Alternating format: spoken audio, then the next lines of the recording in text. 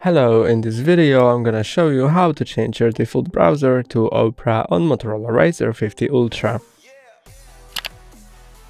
First, let's see if Opera is installed. For me it is already installed, so let's just go to settings. Then, go to apps. Go to default apps, browser app, and choose Opera. Now it's been set as a default browser app. That's all for today, don't forget to like and subscribe. See you next time.